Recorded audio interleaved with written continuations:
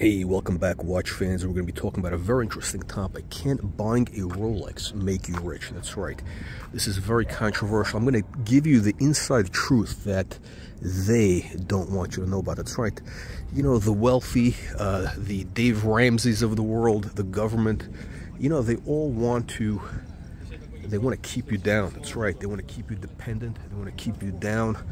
Uh, they don't want you buying Rolex they don't want you to know the secret. I'm going to tell you the secret, my friends. The secret is when you buy a Rolex, and I'm not talking about this watch, but when you buy a Rolex, uh, you will put yourself on the path to becoming rich, okay? I don't know whether that means being a millionaire, a hundred centimillionaire, billionaire, whatever that means to you, but uh, wearing a Rolex will put you on the path to success, okay? So uh, let me give you some deep inside information nobody else is going to tell you about.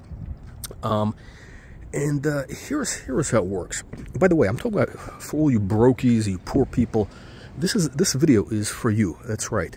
You know, one once upon a time, I was like you. I was I was broke, uh, and um, now did buying a Rolex make me rich?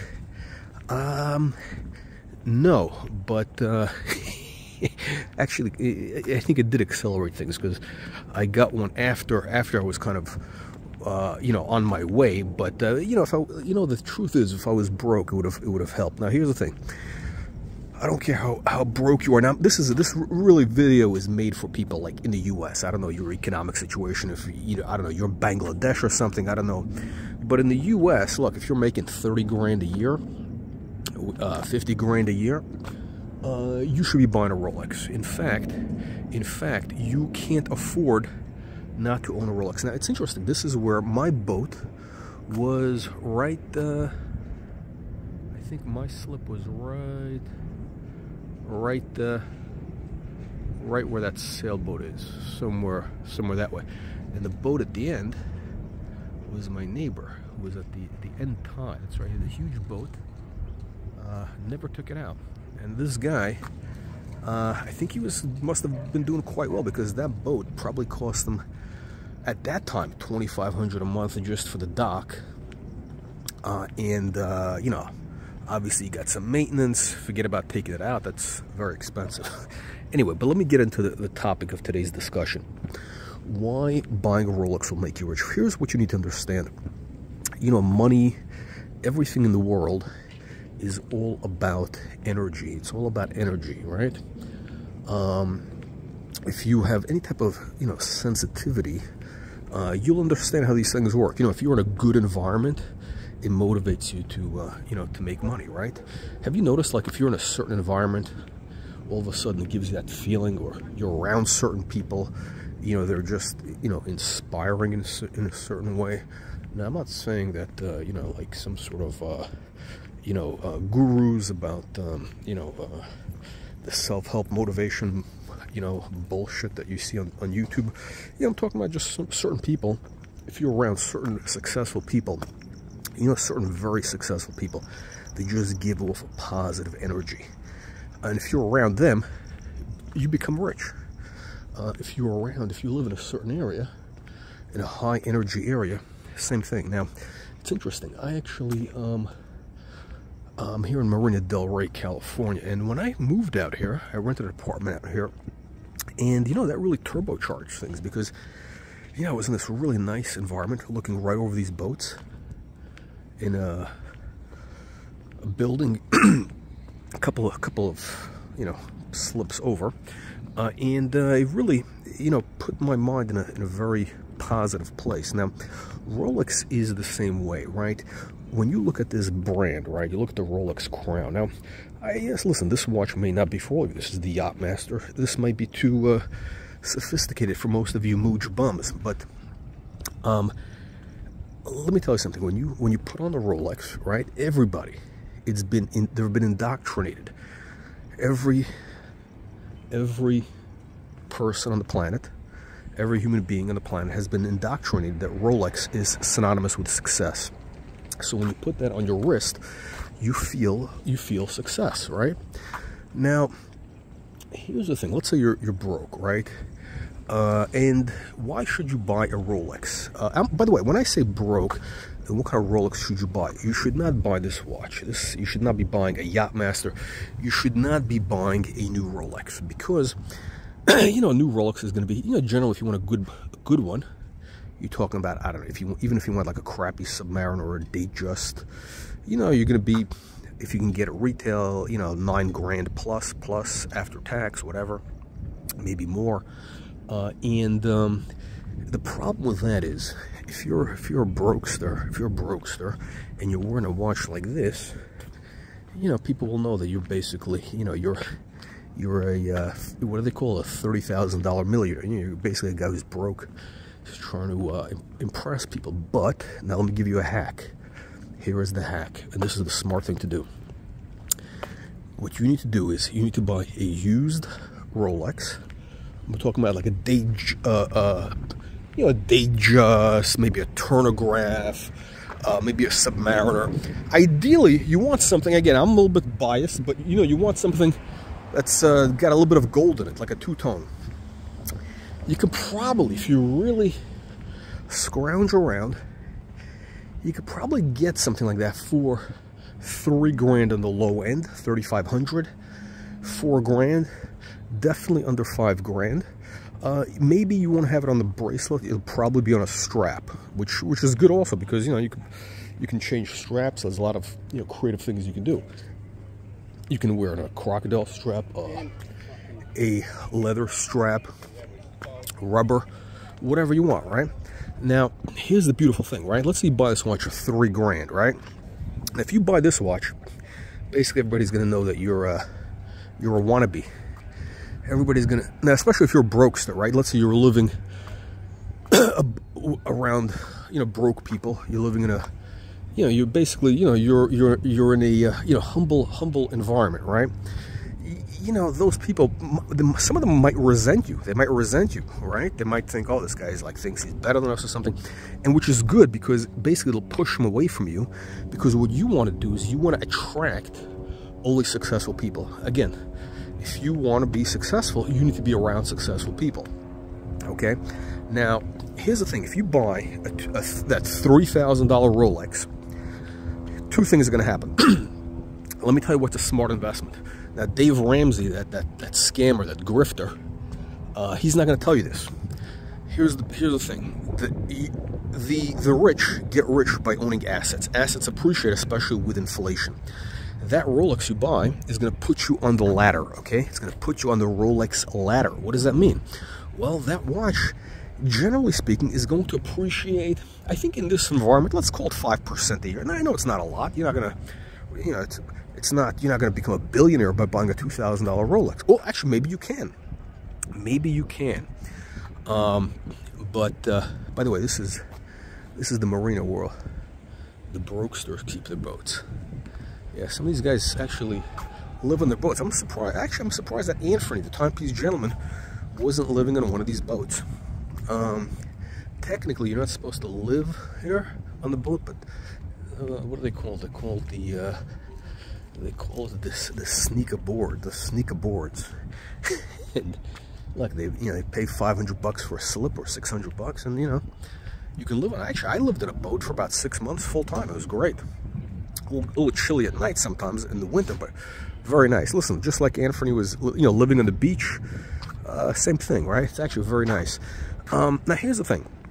Again, the the buying that three thousand dollar Rolex is going to put you on the ladder because the watch is going to appreciate. Now, you need, you know, if you're broke, you need to own assets, right? Most poor people they don't own assets. They don't own things that appreciate with inflation right? They don't, they don't, they don't have any of that.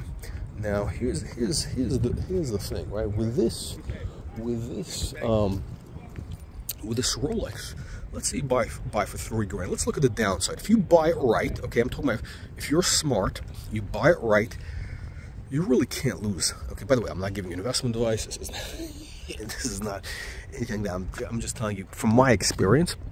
Basically, you can't lose because if you buy it right, you can always resell it you could, you might be able to sell it at a profit to to you know private party. Uh, now, if you get into trouble, maybe you can pawn it, right? You might get You know, you might get uh, fifteen hundred dollars from a pawn shop. You know, as a loan, you get it back when you repay. Uh, I don't know. Let's say you're stuck in a third world country. You know, you can always that watch you can sell anywhere. It's an international currency, right? It's an international asset. Do you understand the power of that? Right now, you don't have that, right? But uh, that watch, that watch is going to put you on the path towards towards success. Now, here's the other thing, right? When you're wearing a three thousand dollar watch, the beautiful thing about it is, if you're now if you're around broke people, you know brokesters, they're going to say, "Oh, why are you wearing an old watch? Uh, why this looks like a, a cheap watch or something?" Because you know they don't know anything. But if you're around successful people, if you're around wealthy people, especially, you know, really wealthy people. I'm not talking about nouveau riche. I'm talking about, you know, people who've, you know, multi-generational wealth, old money, right? If you're wearing a $3,000 Rolex, you know what's going to happen? They're going to think you're one of them. Why? Because, you know, it looks like a type of watch you may have inherited from somebody. And by the way, if you're inheriting a Rolex, you know, a $3,000 Rolex, it's probably a 40, it's probably something from the 70s or the 80s, maybe even the late 60s. And generally, the only people who were buying those watches in the 60s, 70s, and 80s were people who were, you know, uh, you know, affluent, okay? At least affluent. Look at this beautiful bird. I love these birds. Not a crane, what do I forget what it's called. Anyhow, so, um, you, you wear that watch, especially if you wear it on a strap, or even if you wear it on a, on a stretched out bracelet, it looks like, you know, an old, it's an old money look. It's an old money look. By the way, yeah, I know that all of a sudden that's that's popular now. This whole thing with old money.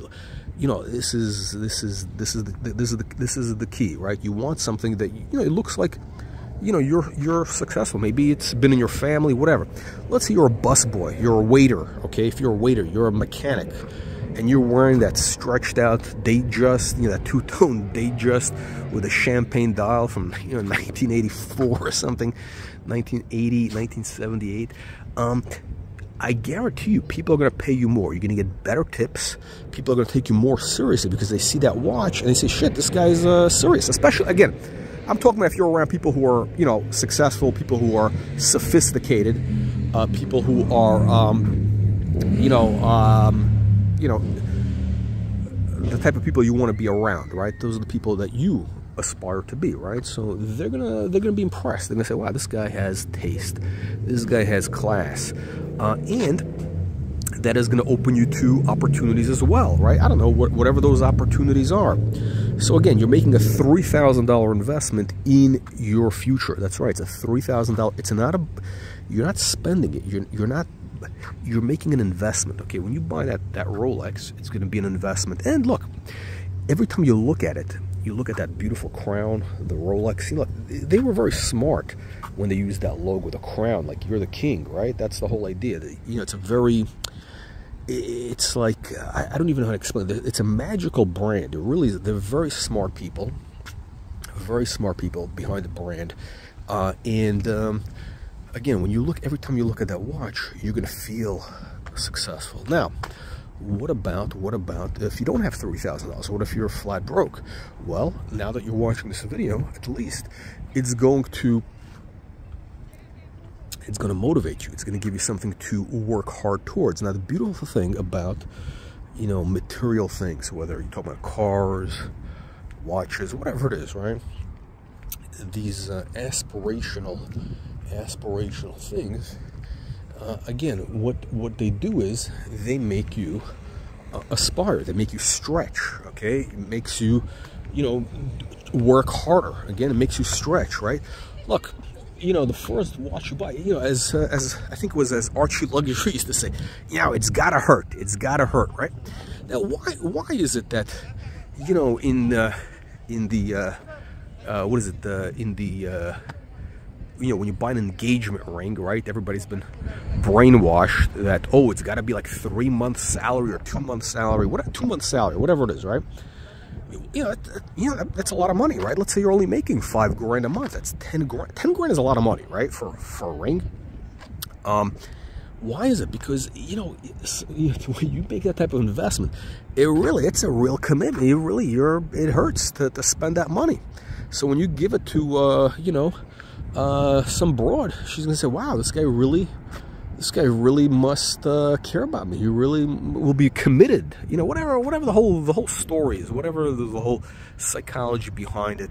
Uh, but yes, look, uh, what is it? I think uh, uh, your energy go. You know, energy, what is it? Money flows where your attention goes, or energy goes where. Your Bottom line is, look, when you make a commitment, when you spend, when you make the investment, not spend, when you make that investment it's gonna you know it's going to um, it's gonna make you work harder right? It's gonna make you stretch. And that is again that's gonna you know do great things for you because uh, look the the harder you work the more creative you become uh, the, the better it is for everybody right? Like I, I want you to become successful right? Why? Look I, I really don't give a shit about you but look if you become if you become rich you become successful it's better for everybody for me especially because that means I don't have to you know, pay higher taxes to support, you know, mooch bums. Uh, and, uh, you know, you're maybe you're going to provide valuable services. I don't know. Maybe you're like uh, uh a plumber. I don't know, a, a, a shoe repair guy. Uh, you know, a dentist. I have no idea. Whatever. Listen, the whole planet, the whole human race, it's all about everything. All revolves around service, right? We're all serving each other. I'm serving you. That's right. I'm serving mooch bums like you by making this video. I'm giving you a valuable entertainment service, high production value. By the way, this is high production value. This is like uh, a, a, Steven Spielberg, Martin Scorsese quality type of production. We're not. This is not amateur hour. Okay, when you subscribe to this channel, you're getting uh, the finest. Um, uh, that's where I used to live, right? Uh, those three-story, three-story. Yeah, that whole part. You know what's interesting about Marina Del Rey? Back in the day, this was the place where all the uh, NLP, neuro-linguistic programming guys were here, like uh, Tony Robbins, uh, Rich, I think it was Richard Bandler. Uh, is a very positive place. Interesting, you know, I ran into here was um, was the guy, the famous NLP guy who actually was big in the pickup pickup world. Ross Jeffries. That's right. I ran into Ross Jeffries at a supermarket, and uh, you know, I, I, actually invited him back to my boat. Uh, came back, eh, nice guy, interesting guy. Um, and I bet Ross Jeffrey, and now Ross was not wearing a Rolex. It's interesting. Uh, if he did, if he was wearing a Rolex, I bet he'd be more successful in life. I think he had some sort of uh, comic book ring. I know he's got some ring he would, would wear. Uh, some sort of Shazam. I don't know, uh, whatever whatever these people do. Anyway, bottom line is, guys, you cannot afford not to own a Rolex. Okay, I give you valuable secrets here, and you know what?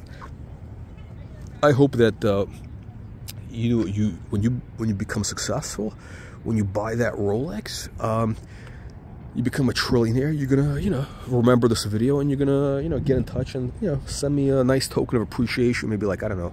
5% of your net worth or something, just as a token of thanks for putting you on the right track, right? I mean, think about it. If it wasn't for me, you'd be you'd be sitting at home, sitting in, in your in your parents' basement, right? And now now you can become a uh, an aristocrat. Okay, it's getting dark, and uh, here we go. See, look, we get the loom. That's right. You know, look, when you get when you get one of these, um, you get a, a watch that works 24/7. Now, look, realistically, those uh, 70s watches, $3,000 watch, it's not going to have any loom. It's the loom is going to be, it's not going to have any loom. It's going to be uh, basically you have to use a flashlight to see the to see the watch end, but it's a good start. So again, don't be don't be a window licker, okay? If you, if you do not buy a new Rolex, because that's a stupid move. You buy a new Rolex when you've got like I don't know uh, a couple hundred grand in the bank, uh, you know, at least a hundred grand in the bank.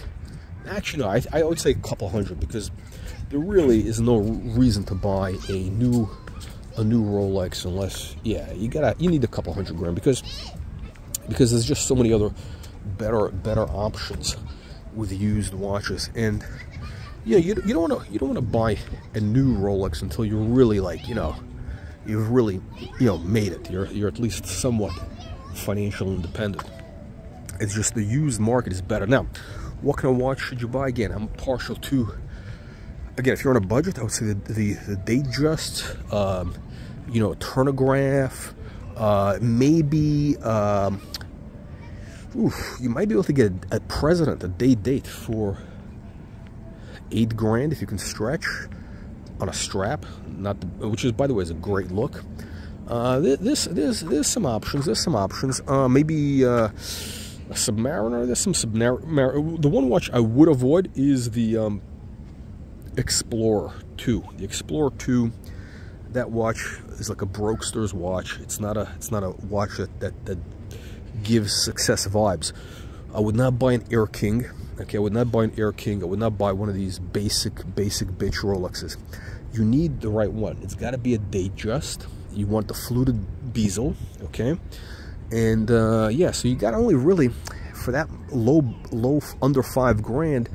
We're talking really, you know, Datejust, older Turnograph. Um, maybe some sort of mm, I don't think you can get a Submariner. But it doesn't matter. You don't want the Submariner. It's not a Submariner is not a success watch. It's not a success watch. The Submariner is for the guy who cleans the boat. The you know this is for the guy who owns the boat right? Uh, the Datejust is you know that's uh, that's the guy who could be on the boat. Who knows? There's a lot of you know very very wealthy people who have uh, the uh, the Datejust it's probably the first watch Guy could be a billionaire. He's probably still wearing the same watch. You know, it's like maybe he's like a Texas oil man, and he's wearing, uh, you know, the watch he bought when his first well came in. Right? That's uh, that's how it works. maybe it has sentimental value.